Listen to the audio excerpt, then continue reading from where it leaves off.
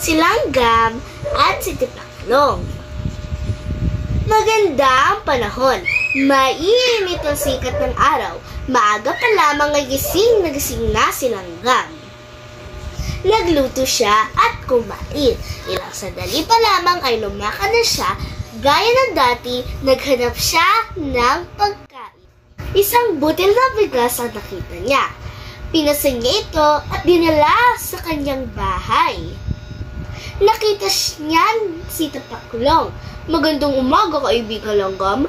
Bati ni Tipaklong. Kaibigan ng iyong dala. Bakit ba wala ka nalang ginawa kundi maghanap at mag-ipon ng makakain? Oo nga, nag-iipon ako ng pagkain habang maganda ang panahon. Sagot ni Langgam. Tumulad ka sa aking kaibigan Langgam, wika ni Tipaklong. Habang nagmaganda panahon, tayo ay magsaya. Halika, tayo ay lumukso, tayo ay kumanta. Ikaw na lang, kaibigan tipaklong, sagot ni Langgam. Gaya nga ng sinabi ko sa iyo, habang maganda ang panahon ay maghahanap ng pagkain. Ito'y aking ipunin para ako'y may makain pag sumama ang panahon. Lumipas ang maraming araw, dumating na ang tag-ulan. Ulan sa umaga, ulan sa hapon, at sa gabi, umuulan pa rin. At dumating ang panahong kumidlat, kumulog at lumakas ang hangin, kasabay ng pagbuhos ng malakas na ulan. Ginaw na ginaw at gutom na gutom ang kaawa-awang tipaklong. Naalala niya ang putahan ng kaibigang si Langgam. Paglibas ng paglibas ng bagyo, pinilit ni Tipaklong na marating ang bahay ni Langgam.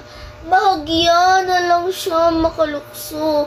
Wala na ang dating sigla ng masayahing si Tipaklong. Tok, tok, tok. Nagbuksan ni Langgam ang pinto. Nagulat siya. Aba, aking kaibigan. Wika ni Langgam. Tuloy ka, Tipaklong. Binigyan ni Langgam ng tuyong damit si Tipaklong. Mabilis na naghanda siya ng pagkain.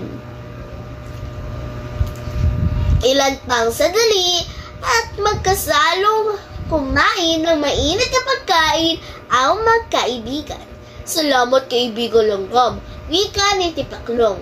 Ngayon ay nan ngayon ako naniniwala sa iyo. Kailangan nga palang mag-ipon habang maganda ang panahon at nang may makain pagdating ng taggutom. Mula noon, nagbago na si Tipaklong. Pagdating ng tag-init at habang maganda ang panahon, ay kasama na siyang magkay, kan, ang kanyang kaibigan na si Langgam.